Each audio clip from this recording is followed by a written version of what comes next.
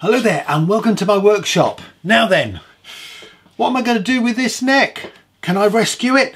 Or should I just use this old neck that I found the other day? I don't know. I'll tell you what, I've got a fantastic My Guitar story coming up. So please stay tuned.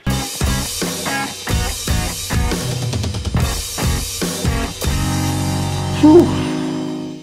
Not sure how we're going to do this. Just kidding, I don't think I'll use that one. No, I'm not giving up with this neck.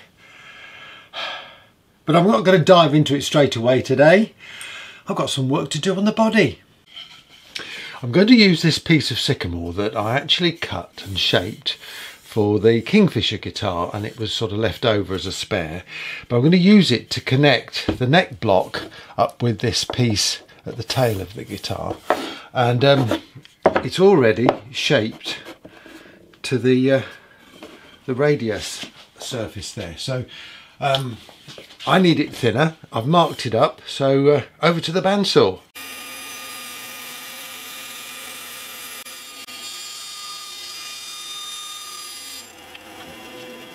Fortunately I've been using the bandsaw to cut some chipboard that covered chipboard the Contiboard whatever they call it.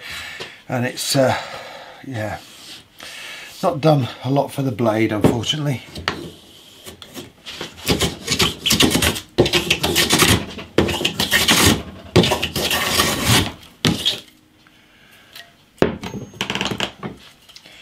get it the right way round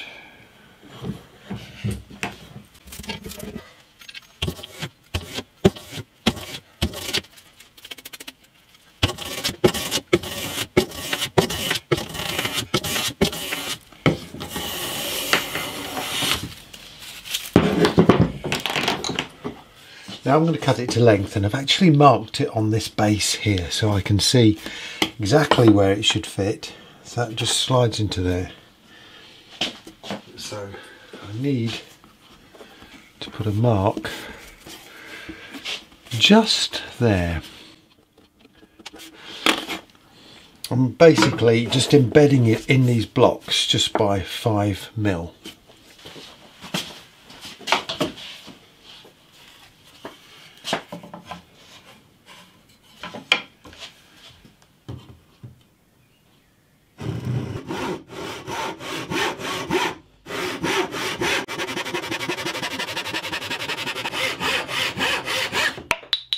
Now I need to cut a little recess which is uh, 10 mil high and 13 mil wide. I think my pencil lead's run out.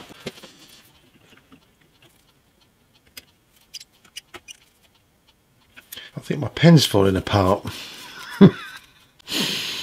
okay, try again. Okay going to do scribe this by hand.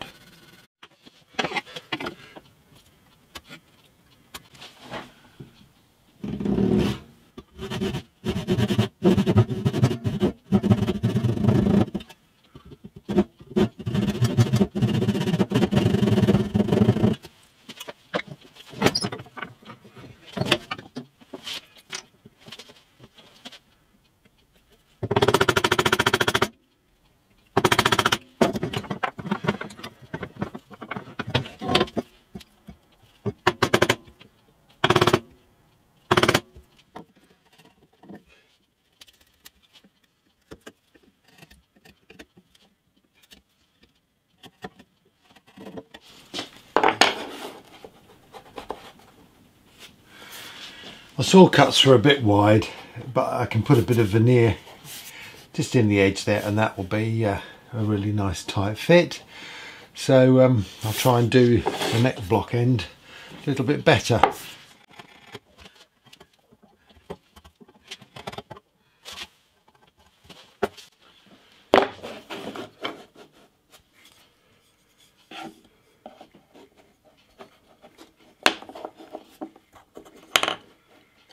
Well, no, the fundamental problem there was that my chisel was too wide, just a little bit. Anyway, put a couple of veneers on each side and I'm just going to glue it in.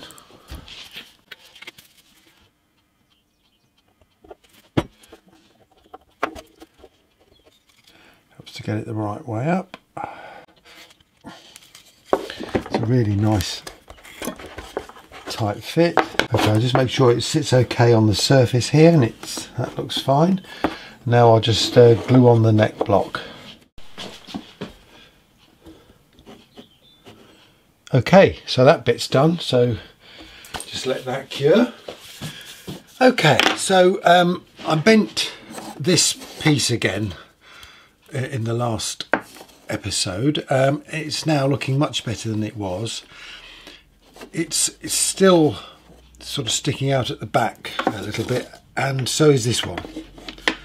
But I think that uh, once I've got it all glued up and I've got those all glued into place, that's all to hold into the shape that I want. So I'm not too worried about that. So I think what I'm going to do now is just glue these little fillets in into position and uh, let them set and then, uh, well, then I might tackle the neck. Now I've reshaped this little piece last time so um, it should fit. Basically that piece goes just inside that front edge there. And that then should glue in nice and tight. So I can see I need to make a slight adjustment to this curve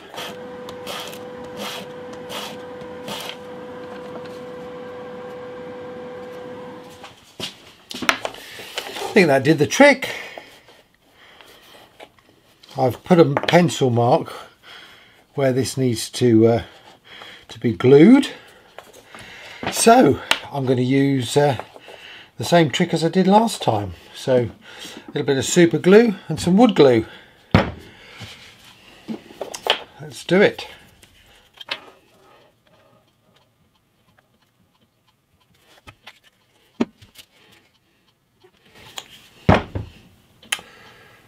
Mm, a bit too much there.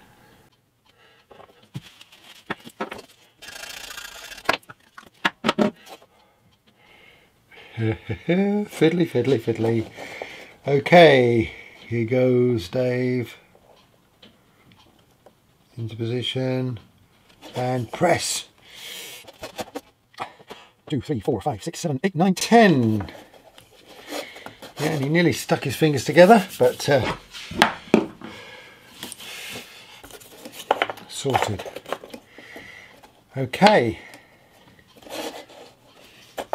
And that one will just butt up to there.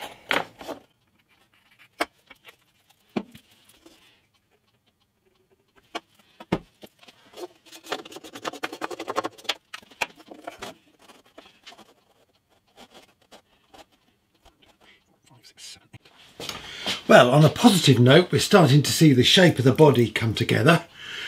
That's got to be good. Now, I think I've got to tackle this neck. okay, I can't put this off any longer. I've got to do something with this. Now, um, it glued on, and if you remember, what I did was mix some dust and glue in with the glue. Um, so, combination of glue, dust and glue, and all sorts uh, to try and fill in some of the, the gaps that there were there. And then you can see it's oozed out, so uh, hopefully there's some in there. Um, I've got to try and shape this now and make it look as though it blends into this neck. So, how do I go about that? I think I'll start off with a sander uh, and take a little bit of the material off. But I've got to be really careful this time because I just don't want to go too close to the uh, the headstock uh, and, and, and, mess that up. So uh, yeah I'm going to do it a bit at a time. So uh, Oh, and by the way, I'm very grateful for one of you kind folks for advising me not to wear gloves while I'm using the sander. I mean, I, I don't wear gloves on the uh, any of the saws now or any of those sort of machine tools but uh, hadn't quite appreciated it with the sander. You need to have your hands free so you can first of all feel the work and also you'll know if you're getting near the paper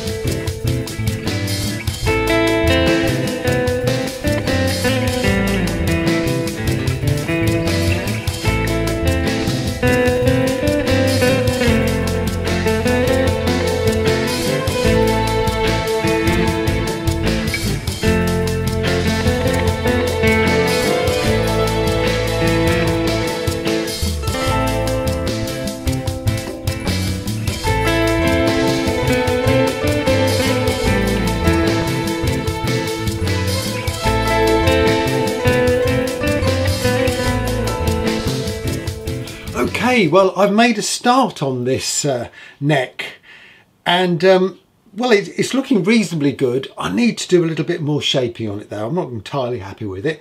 So um, I'm going to carry on with that. But now I think it's time for this week's My Guitar feature.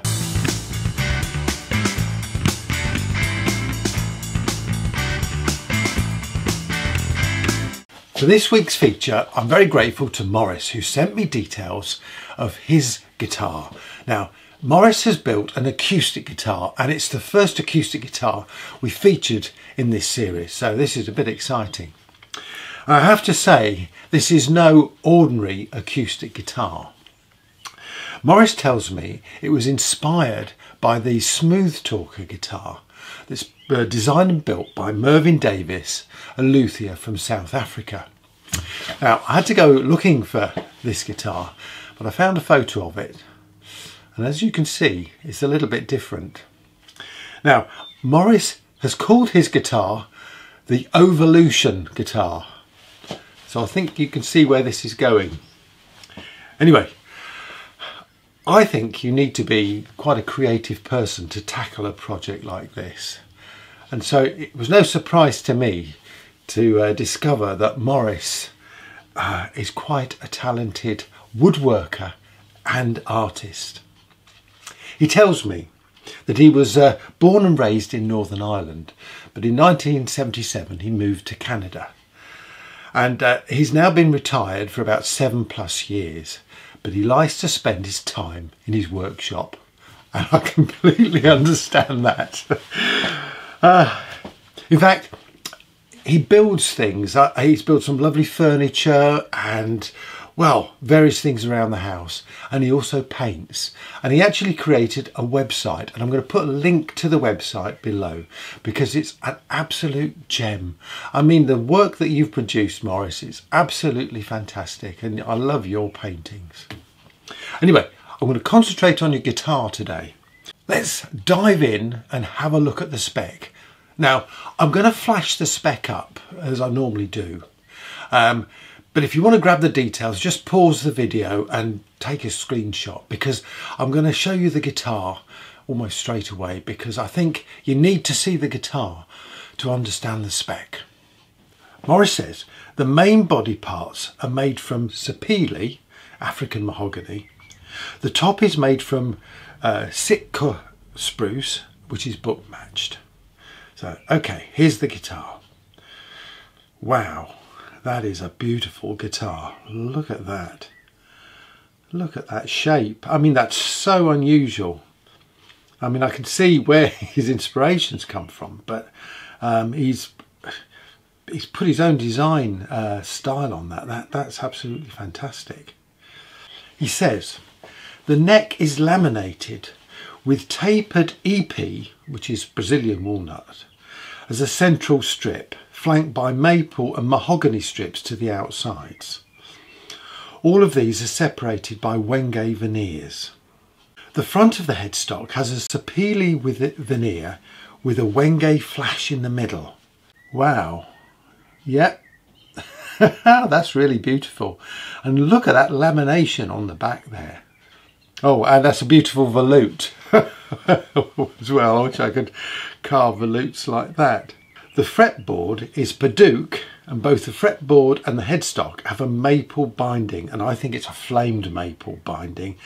And look at that. That looks brilliant doesn't it? That really does look nice. The fretboard dots are maple and the side dots are wenge.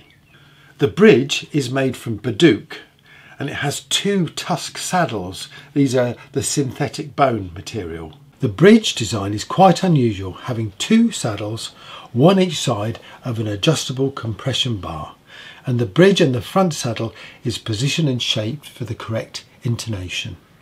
This design puts minimum stress on the soundboard, allowing for maximum freedom of movement. The tail stop is Wenge. I like the design, I must say, uh, Maurice. And, and obviously with my hollow body guitar, I'm just trying to think how I'm going to do a tail stop.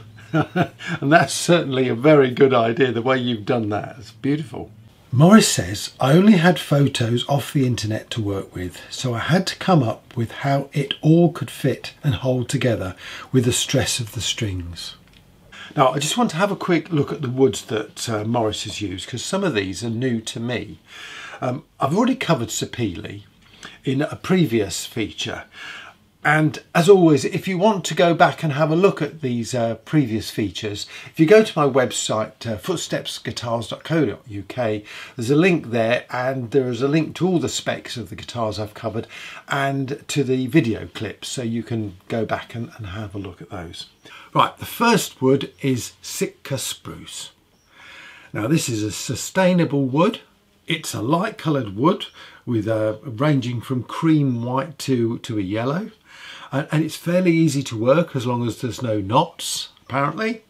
Um, it does say that you can get blotchy and inconsistent results with stain uh, because it's got very closed pores, but uh, uh, yeah, be interesting. The next one is the uh, Ipe uh, Brazilian walnut. Now, this is not listed as endangered. However, the Ipe species grow in very low densities. I'm not sure of the quite the implications of this, but um, reading the Woods database, it looks as though you, have got to take down a lot of trees to find the Ipe tree. Anyway, um, it colours from reddish brown to a more yellowish olive brown or a darker blackish brown. It's a lovely wood by the looks of things. The workability, it's difficult to work as it's very hard and dense and it can blunt tools. Now, I use walnut. I think it's American walnut, and um, I've had trouble planing it because I find that it does tear out a little bit, so you've got to be a bit careful with it. Wenge, now this is a wood I've not used, um, but I, have seen it used by many other guitar builders. Um, it's not listed in CITES, but it is listed on the red list, and that's because there's been a 50% reduction in the population over the last three years. So it's one of those woods that they're keeping their eye on. The colour is a medium brown, um, sometimes with a reddish yellowish hue, and it has uh, nearly black streaks in it. It's a lovely wood. it can be difficult to work as it's very hard and dense, and it can blunt tools, and it can tear out when planing, I can imagine. Now, the toxicity, it says breathing wenge dust has been reported to cause central nervous system effects, abdominal cramps, irritation to the skin and eyes. It's also a sensitizer. And I also read that if you get a splinter, it can cause infection more than another wood would. So you've got to be careful with that one. Anyway, the last one is the uh, African Padauk. Now, I've assumed it's African Padauk. Uh, there are others, but anyway, it is sustainable. Um, it's a pale pinkish orange to a deep uh, brownish red in colour and it's easy to work. You have to be careful for tear out, I understand, but um, otherwise it's uh, it looks pretty good. Let's get back to the guitar. Maurice didn't take any photos during the build process, but he is able to take the back off the guitar, so he sent me a few photos for us to have a look at. Maurice says, the upper bout serves three purposes as I see it. To structurally support and hold the neck to the body, to give it a more balanced and recognisable overall shape, and to provide a place to attach a strap if you need one. The oval sound chamber is approximately 365mm wide, 280mm uh, high and 80mm deep. And the sound exits through the opening at the end where the neck attaches. I think that's a really clever place to put a sound hole. he says, in spite of its small size, it has great natural sound volume, projection and sustain. The body is bolted together using cap screws and this allows me to take it apart and reassemble it easily. Very nice, yeah, very clever design that. The neck is a multi-laminated through neck design, a portion of which passes through the sound chamber to the tail end. And I fitted a mechanism there to allow the action of the strings to be adjusted by tilting the neck uh, uh, without removing the strings. I'm particularly intrigued by the lattice work that's fitted under the soundboard to give it more support. Maurice says that's made from the same Sitka spruce that the, uh, the top is made from. Maurice tells me that he lives in an apartment complex and he has access to a fully equipped workshop with machine tools and hand tools. So that really helped building this guitar. But I mean, I have to say, Maurice, there's a lot of skill gone into this guitar, and I'm not sure that even with all the machine tools, I could produce something as quite as beautiful as you have uh, created there. Maurice says, I would encourage anyone thinking about making a guitar to get going and you'll be surprised how much you learn along the way and be proud of the final result. Thumbs up to that. Even if it's not a great musical instrument, it will make for an interesting wall decoration and discussion topic, so go for it. I like that idea. If it doesn't play in tune, stick it on the wall. That's a good idea, Maurice. Yes. Perhaps a few of my guitars should go on the wall.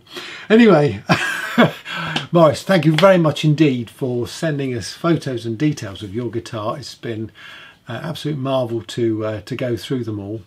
Um, very inspiring. I've certainly learnt a lot from the way you've constructed your guitar, and um, yeah, well, a lot to think about. Anyway, thank you very much. Cheers.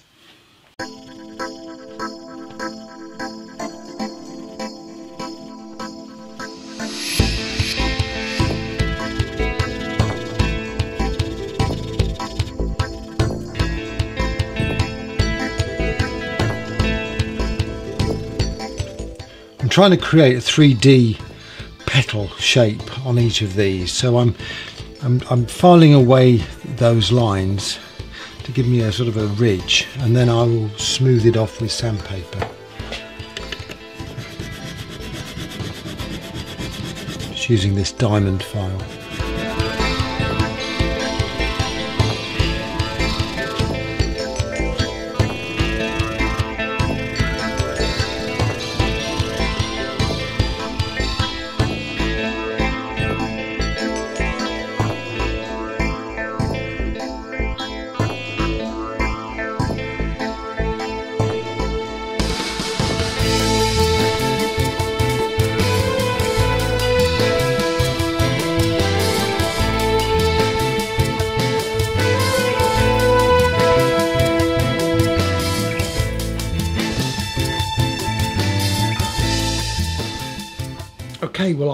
Sanded me and the camera down to about 240 grit. Uh, you can see what we've got now. Um, tried to get these ridges here between each of the sort of petals. Um, I can see I might need to do a little bit more sanding just to smooth that off a little bit, but uh, otherwise it's not looking too bad. But I do need to do something along this top edge. And I'm just wondering, would I get away with putting some dark binding just on the top edge. I don't really need it on the bottom, if I'm honest. But, uh, well, let's see if I've got something I can use. Now, I've got this old fretboard that I took off the bass guitar. And um, if I flip it over, I can see that it looks like uh, some sort of rosewood. Um, it may be the Santos Rosewood, I'm, I'm, just not sure. It was a fretboard that I bought that was pre-done. Um, so I think I might be able to use this as binding. I, I just need to be able, uh, need to cut it down and uh, cut away all of those fret uh, slots there. So uh, I think I'll have a go at that on the bandsaw.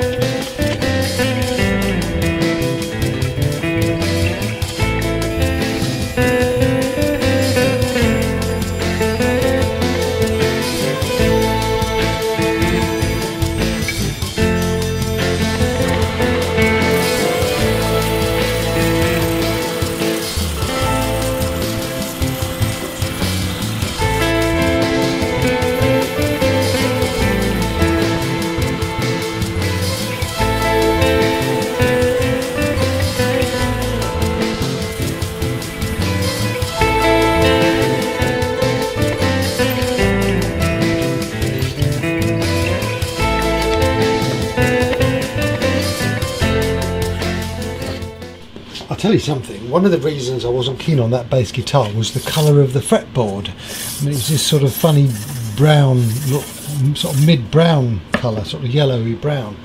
But, my goodness me, look at the wood!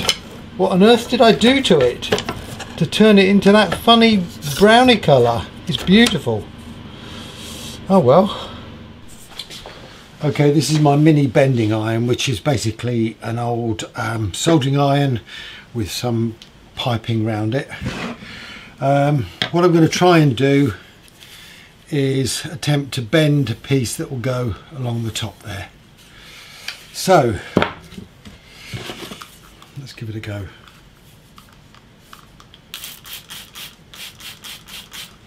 Before I do anything, I'll get the gloves on.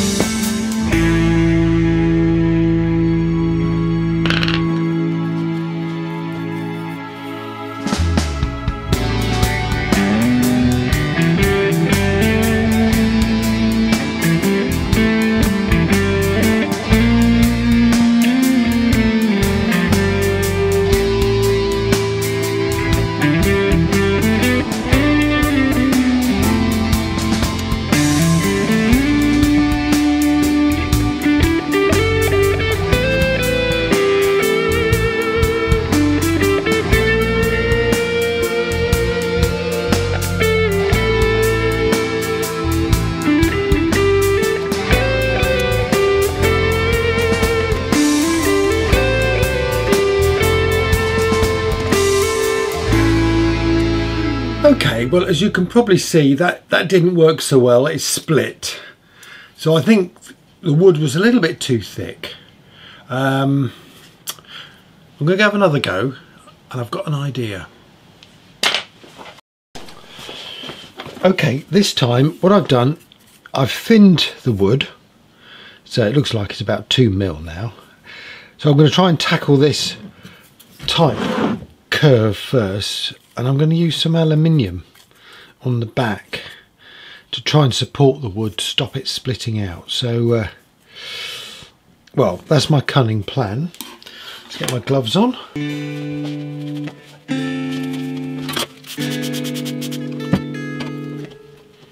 Here goes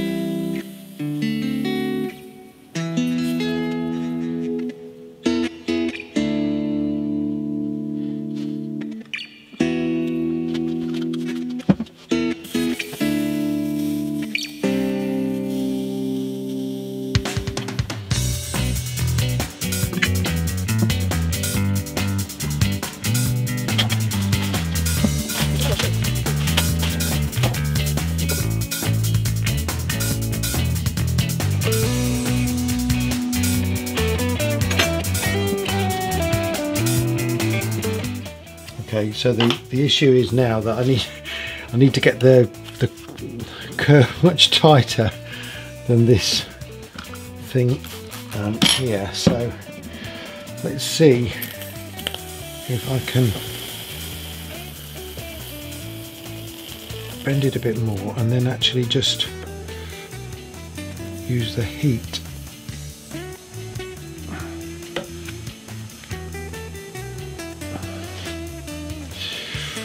Well, there's a bend for you.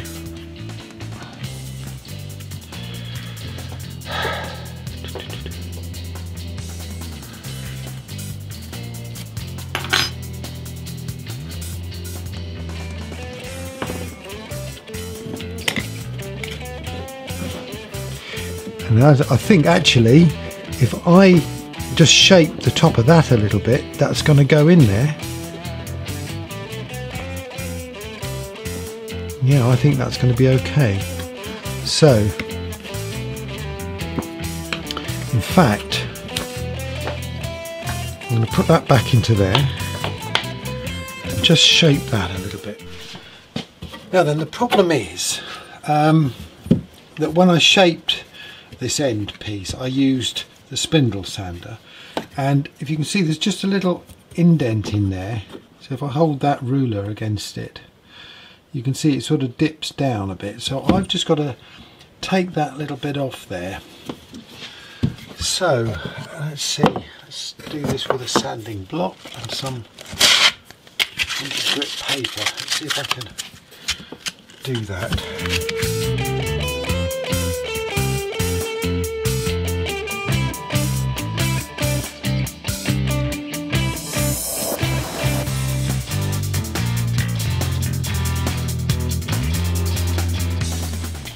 of course I realised there was there was another approach to this and that was to slightly lessen that curve so that it would fit the uh, the binding. So um, mounted a bit of uh, sandpaper on this block this piece of dowel and um, well I've just rubbed the shape and sort of lessened the curve slightly and now I'm just tidying it up a little bit with this um, file.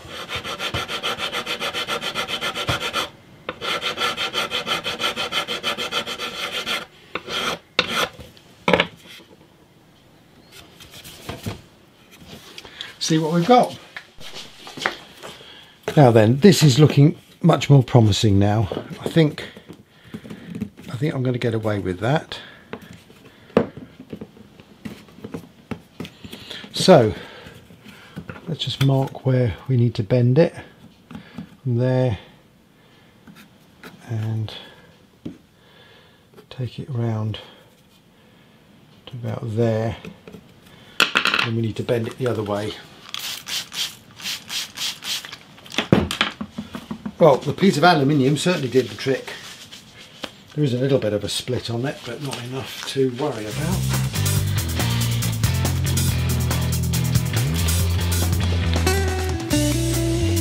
Goes.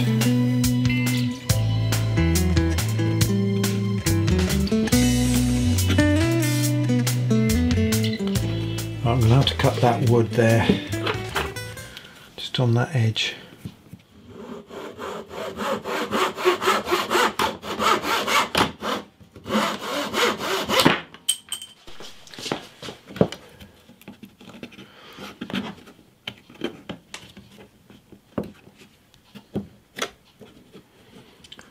Yeah, we're looking really close with that.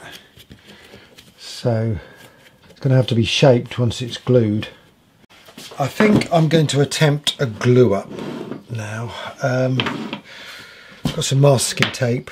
Um, I'll, I'll try and bind it with that, but I might have to use some clamps, I think, as well. Let's see what we can do.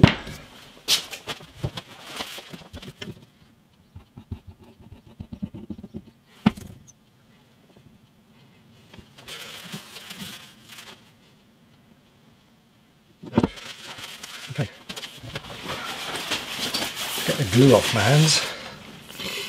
Right.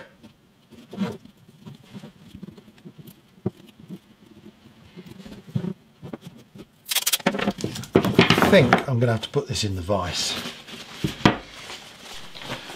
Of course it would have helped to have done that first. Right.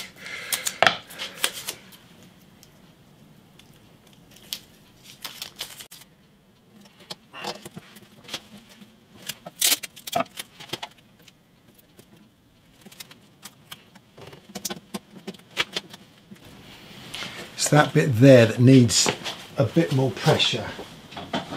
So let's see if I can clamp that in.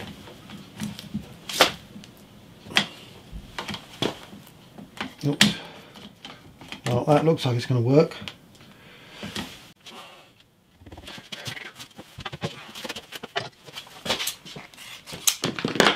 clamping cauls on the fly here. Right, what we need is some flooring. Oh, and that will do the job beautifully if I get it in the right place. Okay. now I need to pull it into that corner.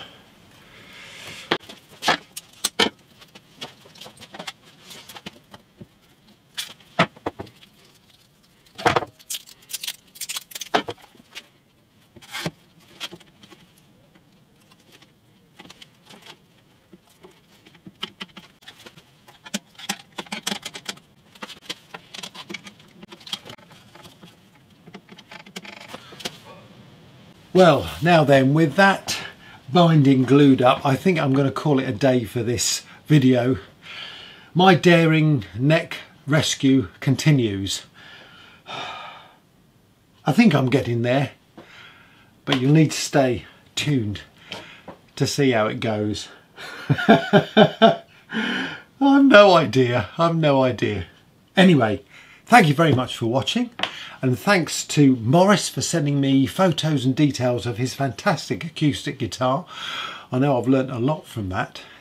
And don't forget, if you'd like me to feature a guitar that you've built that you're proud of, please contact me through my website, footstepsguitars.co.uk. There's a contact form on there, and I'll get back to you and we can get some details and, uh, well, we'll feature your guitar on the channel. Excellent and I've not mentioned it for a long while, but at the beginning of the year, I started this thing called Our Scoring Challenge, and the idea was to score a piece of music for a short video that I put uh, out there. And uh, you can find the a link to the uh, video down in the description below. Uh, I've had a couple of people do some fantastic compositions against that video and it's really aimed at guitar players and uh, or single instrument players to have a go at. Not a big orchestra necessarily, just uh, keep it small, keep it simple and uh, have a go. Anyway, thank you very much for watching. Thank you for your comments. Don't forget to subscribe. I'll see you soon. Cheers.